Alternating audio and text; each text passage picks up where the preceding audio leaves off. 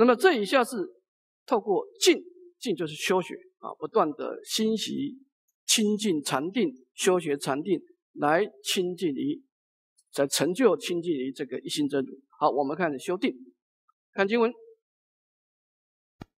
常好坐禅，在于闲处修摄其心。文殊师利，是名出清净处。那么前面的十种的法是远离攀岩、收摄身心，这一下呢就正式修禅定了。就是前面的准备做好以后啊，你应该怎么呢？怎么样呢？在于闲处修摄其心。当然。菩萨有时候有在家居士啊，有出家众啊，有在家居士，你可能要工作啊，各种的事业。但是你每一天当中啊，你一定要有一个固定的时间啊，进入到一个不受干扰的处所啊，或者佛堂啊，或者哪里啊，你要有一个怎么样，在一个不受干扰的闲静处，或者一个小时或者两个小时，干什么呢？收摄其心。你受菩萨戒啊。你不能整天就把心这样放下就不管它，整天就是一天到晚打妄想，这是不对。这个本身你就受犯菩萨戒啊。那么收摄其心呢？当然，净土中主要收摄其心，当然靠佛号了啊。过去我们的教务主任呢，慧田长老，他讲到这种这种念佛啊，他提倡一种专注念佛法。我觉得很好用，我给大家说明一下他这个方法的一个应用啊。他这个方法有两个重点，第一个皈依，一个专注啊。就是你在念佛之前呢，先修皈依啊。如果说你不会皈依，那你就念那个发音文啊，一心归命极乐世界，阿弥陀佛，愿以净光照我，持世受我。我今真念称如来名，为菩提道求生净土啊，就是。你是业障凡夫，阿弥陀佛是功德庄严。从因缘上啊，我们建立一种皈依的通身靠道啊，这第一个。那么你跟佛号、跟你的心跟佛号建立一种皈依的心态以后，就专注了。专注呢，它的方法是这样：每一天念一千声佛号就好，不要多啊。我们为什么很多人念佛念佛念不好？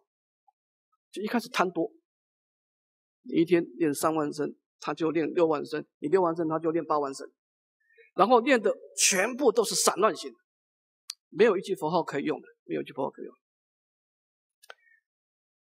佛号的目的是收摄身心，结果我们现在把收摄身心这个事给忘了啊！跟人家讲话的时候，佛号一直念啊，你工作的时候也念佛，其实这个都是一种兼带的，不是正修了啊。就是你拖地的时候念佛，当然好过打妄想。好过打妄想啊！但是你不能把净土中的定位，把它定位成念佛只是好过打妄想，这标准也太低了吧？太低了吧？你这个念佛是要感应道教的，你这种边工作一心好起用，能够临终能够感应道教啊！所以，我们刚开始啊，就是念佛人要有一个观念了：宁可少念，不可草率，因为你。就怕你养成坏习惯，就是你养成念佛就是随口溜过以后啊，就是给你充分的时间让你练一百声佛号，你也练不出来，因为你佛号就是习惯从心中就是快速的溜过去，你真正没有用佛号来收摄身心啊，所以他是怎么样呢？他透过三三四啊，三句三句四句啊，如果你气比较长，你可以分两口气，六句佛号一口气。啊，四句佛号在一口气啊，或者你三口气、两口气都可以。啊，分成五点计数法。